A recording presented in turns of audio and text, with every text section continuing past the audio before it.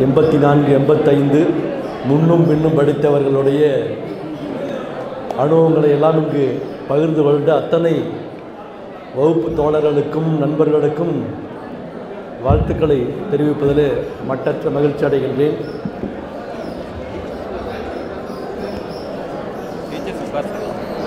கடந்த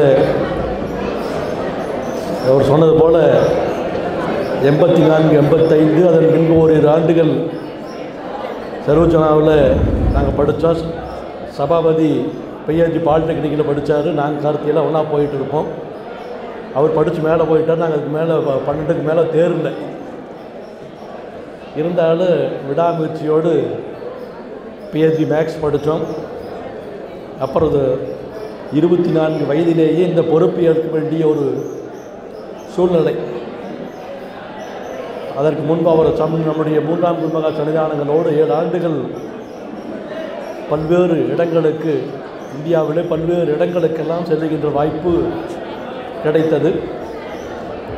இருபத்தி நான்கு வயது நிறைவடைவதற்கு முன்பாக மடத்தினுடைய பொறுப்பை ஏற்ற பொழுது ஒரு கடுமையான சூழ்நிலை இருந்தது.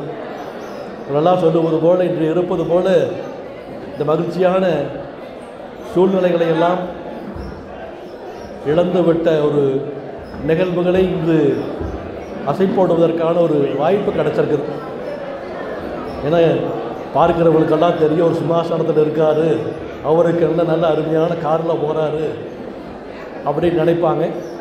ஆனால் இருக்கின்ற நிலைமையை உணர்ந்தவர்கள் நம்முடைய பூர்வாசிரம அக்கா அவர்களுக்கு தெரியும். ஒரு ஆறு ஏழு ஆண்டுகள் கடுமையான சூழ்நிலையிலே பயணித்து அதன் பின்புதான் பயணத்திலே ஒரு வெற்றி அடைந்த ஒரு நிலை ஏற்பட்டது என்பது உடன் இருந்தவர்களுக்கு மட்டும்தான் தெரியும். பொருளாதார சூழ்நிலையாக இருக்கலாம் இன்றைக்கி வசதியாக இருக்கலாம். இன்றைக்கி வசதியான காரில் போகலாம் உலகத்தில் பெரும்பாலான ஐரோப்பிய நாடுகளுக்கு சென்றிருக்கிறோம். ஐநா சபையில் சென்று பேசுகின்ற வாய்ப்பு கிடைத்திருக்கின்றது. நாடாளுமன்றத்திற்கெல்லாம் சென்றிருக்கின்றோம் என்றால் அதற்கு பின்னால் இருக்கின்ற உழைப்பும் அதற்கு பின்னால் நமக்கு எங்கள் எங்களோடு உடன் இருந்தவர்களுடைய பின்புலத்திலே பலர் பணியாற்றி இருக்கின்றார். ஒவ்வொரு உங்களுக்கு எல்லாம் தெரியும் யாரெல்லாம் முப்பது ஆண்டுகளுக்கு முன்பு இருந்த சூழ்நிலைகளை விட்டு செல்லவில்லை பலரெல்லாம் விட்டுட்டு போயிட்டாங்க. உங்களுக்கெல்லாம் தெரியும். குடும்பத்தில் நல்லா இருக்கிற வரைக்கும் எல்லோரும் ஆதரிப்பாங்க. குடும்பத்தில் ஒரு சிக்கல் வரும்போது என்ன பண்ணுவாங்க? அண்ணன் தம்பி ஆதரவு கூட இருக்க மாட்டாங்க. அந்த சூழ்நிலையிலே தான் இந்த திருமணத்தினுடைய பொறுப்பை எடுத்த பொழுது ஒரு பெரும் சுமையை எடுத்த நிலை பொருளாதார நிலையும் ஒரு அதல பாதாளத்தில் இருந்தது. அப்பொழுது எங்களுக்கு வழிகாட்டியாக பலர் இருந்தார். எங்களுக்கு அரசு கல்லூரியிலிருந்து சுப்பிரமணியம் ஐக்கியஸ் ஐயா அவர்கள் நம்முடைய துறையண்ணா அவர்களுடைய வழிகாட்டுதல் எங்களுக்கு அவர் வந்து பாடம் எடுத்தார். அவர் கேட்டாங்களே அப்போல்லாம் படிக்கலையே. படிக்கிற காலத்தில் படிக்கலை. படிக்காத காலத்தில் அவர் வந்து எங்களுக்கு திருக்குறள் எடுத்தார் பெரிய குரல் எடுத்தார். எவ்வளோ முயற்சி பண்ணி ஆங்கிலம் எடுத்தார் வரல. இருந்தாலும் ஆங்கிலம் இல்லாட்டையும் கூட உலகம் முழுவதும் இன்றைக்கி சென்று வந்திருக்கின்ற ஒரு வாய்ப்பு கிடைச்சது. அதன் பின்பு அதற்கு பின்பு தான் மே மேடைகள் தோறும் பேசுகின்ற ஒரு வாய்ப்பு கிடைத்தது. அதற்கு பின்னாலே பலருடைய வழிகாட்டுதல் இருந்தது. அதில் ஒரு சிலர்கள் சொன்னார்கள் எந்த ஒரு புகழ்ச்சிக்கும் அடிமையாகக்கூடாது விடவிட்டால் வாழ்க்கையில் வெற்றி அடையலாம் என்று சுகிசோன் சொன்னார். தற்புகழ்ச்சிக்கு அடிமையாகிவிட்டால் வாழ்க்கையில் வெற்றி பெற முடியாது என்கின்ற ஒரு நிலையை சொன்னார். இரண்டாவதாக ஐக்கியசை அவர்கள் நீங்கள் உட்கார்ந்து கொண்டிருக்கின்ற இருக்கை சிம்மாசனம் அல்ல பார்க்கின்றவளுக்கு சிம்மாசனமாக இருக்கும். நீங்கள் அமர்ந்திருக்கின்ற இருக்கை முள் இருக்கை. முள் கிரீடம் இது அலையில் இருக்கிறது கிரீடமாக இருக்கலாம் தெரியும். பார்க்குறவங்களுக்கு என்ன அவருக்கு என்னென்னு அடுத்த வேலை போய் தண்ணி குடிக்கணும் கூட நேரத்தோடு கேட்டு தான் போக முடியும். சாப்பிடணும் கூட போக முடியாது. நேற்று ஒரு நிகழ்வு. ரெண்டு நிகழ்ச்சிக்கு போனோம். மணி மூணு ஆயிடுச்சு சர்க்கரை இறைவனுக்கெல்லாம் தெரியும். சாப்பிட்லீங்கன்னு என்ன வந்துடுன்னு தெரியும். மூணு மணி ஆகிடுச்சு சாப்பிட முடியல. நிகழ்ச்சி முடிஞ்சு அவங்க எல்லாம் மந்திரி கூட போயிட்டாங்க. சாப்பிட கூப்பிட்றதுக்கு யாருமே இல்லை. சாப்பிட போகலாமான்னு ஏதோ வர்றோம் வர்றோம்னாங்க. இதுதான் எங்களுடைய வெளியில் இருக்கிற மகரவனுக்கு என்ன அவளுக்கு? ஆப்பிள் கொடுப்பாங்க ஜூஸ் கொடுப்பாங்கன்னு நினச்சிருப்பாங்க. போய் சாப்பிட கூட முடியாத ஒரு சூழ்நிலை. அப்படிப்பட்ட ஒரு சூழ்நிலையிலே இங்கே பார்க்குறவங்களுக்கெல்லாம் தெரியும். நாம் அன்னைக்கு படித்த கல்விக்கூடத்தினுடைய வளர்ச்சி இன்றைக்கி முப்பது ஆண்டுகளில் அருமையான ஒரு பெரும் வளர்ச்சி நம்முடைய பள்ளி வளர்ந்திருக்கின்றது என்றால் பலருடைய வழிகாட்டுதல். ஒன்று அவர் சொன்னது போல தற்புகழ்ச்சி அடுத்ததாக அவர் இருக்கின்ற கிரீடம் மூன்றாவதாக எங்களுக்கு வழிகாட்டிய டிஆர் கார்த்திகேயன் எல்லாத்துக்கும் தெரியும். ராஜீவ் காந்தி கொலையில் இருந்தவர் சிபிஐ டைரக்டராக இருந்தார். அவர் சொன்னார் நீங்கள் முன்னெடுத்து வையுங்கள். உங்களுக்கு பலர் கருத்துக்கள் சொல்லலாம். அந்த கருத்துக்களிலே பலருடைய கருத்துக்களை நீங்கள் ஏற்றுக்கொள்ள முடியாது. உங்களுடைய வளர்ச்சிக்கு எது சரியாக இருக்கிறதோ அதை நோக்கி முன்னேறுங்கள். பின்னார் என்று சொல்லுகின்றவருடைய கருத்துக்களை நீங்கள் ஒரு பொருட்டாக எடுத்துக்கொள்ளக்கூடாது என்று அவர் சொன்னார். அந்த சூழ்நிலையிலே எங்களுக்கு மீனாட்சுந்தரம் ஐயா அவர்கள் ஒரு சிறிது காலம் வழிகாட்டியாக இருந்தார்கள். ஊட்டியிலே இருந்து இரண்டு பேர் நஞ்சன் குண்டன் சார் அவர் வந்து மெட்ரிக் பள்ளி ஆங்கில வழி பள்ளியினுடைய உயர்வுக்கு துணையாக இருந்தார்கள். அதன் முன்பு ஒரு சர்வதேச பள்ளி உருவாக்குவதற்கு ஒருவர்களோடு துணை இருந்தார்கள். அந்த சூழ்நிலையிலே தான் சிறப்பு பள்ளியை உருவாக்குவதற்கான வாய்ப்பு உங்களுக்கெல்லாம் இத்தனை பேருக்கு தெரியும்னு தெரியல. நாமெல்லாம் நல்ல பள்ளியில் படிச்சுட்டு ஆரோக்கியமாக இருக்கிறோம். ஆனால் சிறப்பு பள்ளி என்பது மென்டலி சேலஞ்சுன்னு சொல்லுவாங்க. மருத்துவத்துறையிலெல்லாம் இருக்கிறாங்க இந்த குழந்தைகளால் அடுத்த சிந்தனை செய்ய முடியாது. ஆட்டிசம் இன்னும் பல பல பேர்களெல்லாம் இருக்குது அந்த நிறுவனத்திற்கு ஒரு நாள் சென்ற பொழுது அழைச்சிட்டு போனார். ஒரு நண்பர் ஒருத்தர் அழைச்சிட்டு போனார். இங்கே போனால் அவங்களுடைய குழந்தை இருந்தது. ஒரு மூன்று இடத்துல அவங்க வச்சு நடத்துனாங்க. வசதியானவர்கள். ஆனால் மூன்று வாடகை கட்டடத்திலே அவர்களால் இயக்க முடியவில்லை. அப்பொழுது உங்களுக்கு என்ன வேண்டும் என்று கேட்டார்கள். ஒரு இடம் இருந்தால் போதும் என்று கேட்டார்கள். அவங்க அப்பொழுது ஒரு ஏக்கரா ஃப்ரீயாக கொடுத்தது. அவர்கள் நம்முடைய பெயரோடு இணைந்து கௌமாரம் பிரசாந்தி என்ற பள்ளி நடத்தி கொண்டிருக்கின்றார்கள். அங்கே போய் பார்க்கணும் நம்ம சொன்னாங்க நாமெல்லாம் நல்லா இருக்கிறோம். இன்றைக்கெல்லாம் கோடியில் சம்பாதிக்கிறோம்னு.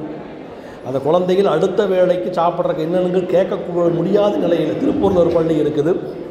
இப்பொழுது இருநூற்றி எண்பது குழந்தைகள் அவங்க ஒரு விடுதியோடு நடத்தணும் அடுத்து அந்த அப்பா அம்மாவிற்கு பின்னால் அந்த குழந்தை அந்த பள்ளி குழந்தைகளுக்கு யார் பாதுகாப்பு? நமக்கு நாம் இருக்கிறோம் நமக்கு பின்னால் உற்றார் உறவினர்கள் நண்பர்கள் குழந்தைகள் எல்லாம் இருப்பாங்க பார்த்துக்குவாங்க. அந்த குழந்தைகளுக்கு என்பாக அந்த பள்ளியை நடத்துவதன் மூலமாக ஐநா சபையில் மார்ச் இருபத்தி ஒன்றாம் தேதி இந்த குழந்தைகளுடைய தினம் மாற்றுத்திறனாளிகளுக்கான குழந்தைகளுடைய தினம் அங்கு நடைபெறும் ஒவ்வொரு ஆண்டும். சென்னையிலே சிமெண்ட் ஃபேக்ட்ரி வைத்திருக்கின்றார். அவருடைய குழந்தை அங்கே அந்த இருக்கிறதுனால சிறப்பு குழந்தையினால அவங்க ஒரு நிதி ஒதுக்கி இருக்கிறாங்க. யூஎனுங்கிறது ரெண்டு இருக்குது. ஐநா சபை ஒன்று அமெரிக்காவில் இருக்குது ஒன்று ஜெனீவாவில் இருக்குது. ஜெனீவாவில் இருக்கிற போது நம்முடைய கோயம்புத்தூரில் திருப்பூர்காரரு சத்தியமங்கலத்துக்காரரு. அவர் அங்கே நல்ல ஒரு பெரிய பணியில் இருக்கிறாரு. அவர் நம்மளோட தொடர்பில் இருந்தபோது நாங்கள் ஒரு முறை ரெண்டு மூன்று மூ இரண்டு முறை ஐநாவுக்கு சுவிட்சர்லாந்து சென்ற பொழுது அவர் ஐநாவிற்கு அழைத்து சென்றார்கள். அப்பொழுது சொன்னார்கள் சாமிகளை கண்டிப்பாக அழைக்கிறோம்னு சொல்லியிருந்தார். அதுபோல் அந்த நிகழ்விற்கு அழைத்திருந்தார்கள்.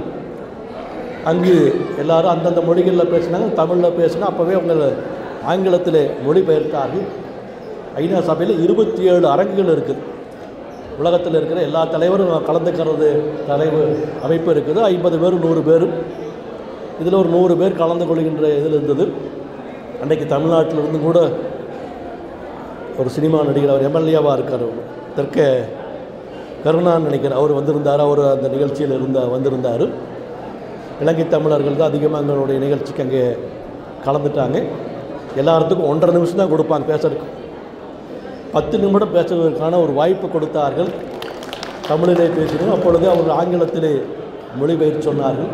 அந்த வகையில் இது ஒரு தமிழகத்திலிருந்து இந்தியாவிலிருந்து ஒரு துறவியாக மடாதிபதியாக செல்வதில் ஒரு பெருமை அடைந்தேன். அதுபோல் கடந்த ஒரு ஆறு மாதங்களுக்கு முன்பு நம்முடைய நாடாளுமன்ற கட்டிடத்திலே புதிதாக செங்கோல் நிறுவுகின்ற விழாவிற்கு உங்களுக்கெல்லாம் செய்திகள்லாம் தெரிஞ்சிருக்கு. நான் ஆயிரத்தி தொள்ளாயிரத்தி நாற்பத்தி ஏழு சுதந்திரம் அடைந்த பொழுது திருவாடுதை ஆதீனம் இந்த செங்கோலை திருமுறை கோளரபதிக்கு மோதி கொடுத்தார்கள். அந்த செங்கோல் நேரு பவனத்திலே ஒரு கைத்தடி என்கின்ற சொல்லுகின்ற வகையில் வைத்திருந்தார்கள். அது சிறப்பிக்க வேண்டும் என்பதற்காக தமிழகத்தில் இருக்கின்ற சைவ ஆதீனங்கள் இருபத்தி ஓரு ஆதீனங்களை அழைத்து சிறப்பு செய்தார்கள். முறையாக அவர்கள் அழைத்தார்கள். அவர்களே விமான பயணத்திற்கு ஏற்பாடு பண்ணினார்கள். சென்னையிலிருந்து போனவர்கள் போனவர்களுக்கு தனி விமானங்கள் ஏற்பாடு செய்தார்கள். திரும்பி வருவது போது தனி விமானம் ஏற்பாடு செய்து கொடுத்தார்கள். அரசனுடைய செயலர் அவர்கள் மத்திய செயலர் அவர்கள் வந்து அழைத்திருந்தார்கள். தமிழர்களுக்கு அது ஒரு பெருமை. ஆதீனங்களுக்கு கொடுத்தாங்களாங்கிறதுல தமிழர்களுக்கு ஒரு பெருமை. ஏன்னா ஒன்று நாதசுவர கலைஞர்கள் முன்னால் நம்முடைய தமிழ் க இசை வாசிக்கப்பட்டது. ஒரு ஐந்து ஓதுவா மூர்த்திகள் ஒரு பெண் ஓதுவார் அதில் வந்து பாடிட்டு போனாங்க. ஒரு முன்னால் நாங்கள் ஒரு பத்து ஆதீனங்களெல்லாம் ஒன்றா நிற்கிற போது அவர் வந்து கொடுத்த ஒவ்வொருவரத்தையும் கொடுத்து அதை ஆட்சி பெற்று சென்றார். அவ்வளவு ப பெரிய ஒரு பதவியில் இருக்கிறார். இருந்தாலும் வந்து பெற்றுக்கொண்டார் முன்னால் பத்து ஆதீனங்களும் பின்னால் பத்து ஆதீனங்களும் வர நடுவில் அவரும் சபாநாயகரும் சென் கொண்டு வந்து அந்த சபையில மேலே வைத்து மீண்டும் வந்து அனைவரையும் வணங்கி விட்டு சென்ற காட்சி வாழ்க்கையிலே ஒரு மறக்க முடியாத ஒரு நிகழ்வாக நம்முடைய எங்களுக்கு கிடைத்த பெருமை என்று நான் சொல்ல மாட்டேன். தமிழர்களுக்கு கிடைத்த எட்டு கோடி தமிழருக்கு கிடைத்த பெருமை என்று சொல்வதிலே மகிழ்ச்சி. இந்த முப்பது ஆண்டுகளுடைய அனுபவங்களை எல்லாம் உங்களோடு பகிர்ந்து கொண்டதிலே மிட்டற்றி மகிழ்ச்சி அடைகின்றேன். உலகத்திலே ஒரு வாய்ப்பு உலகத்தில் ஐரோப்பிய நாடுகளுக்கு அதிகமான முறை சென்றிருக்கு. அதிலேயும் மிக அதிகமான பணக்காரர் இருக்கிற ஐ சுவிட்சர்லாந்துக்கு நான்கு முறை சென்றதிலே பெருமையாக இருக்கின்றது. இந்த ஆண்டு இப்பொழுது அடுத்ததாக சு- வருகின்ற டிசம்பர் மாதம் மலேசியாவுக்கு ஐந்தாவது முறையாக செல்ல இருக்கின்றேன். அந்த வகையிலே உங்களோடு படித்ததிலே பெருமை. இது நம்முடைய குருநாதர்கள் காட்டிய வழி அவருடைய குருவர்களால் இந்த வாய்ப்பெல்லாம் கிடச்சி எனக்காக கிடச்சி நான் சொல்ல முடியாது. அவருடைய குருவரும் நமக்கு இந்த வாய்ப்பு கிடைத்தது என்று இந்த நேரத்தில் உங்களுக்கு தெரிவித்துக் கொள்கிறேன்